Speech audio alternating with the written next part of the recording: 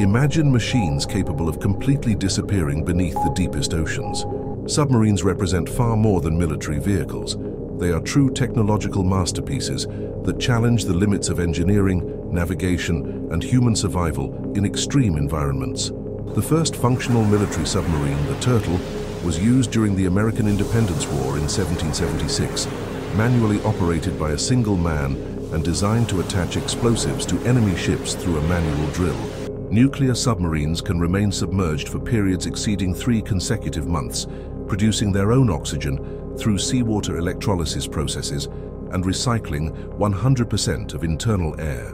The USS Nautilus, the first fully nuclear submarine, traveled 1,383 nautical miles in total immersion beneath the Arctic polar cap in 1958, completely revolutionizing submarine navigation. Modern submarines have acoustic camouflage systems so advanced that they can reduce their sound signatures by up to 99.9%, rendering them practically invisible to submarine detection systems.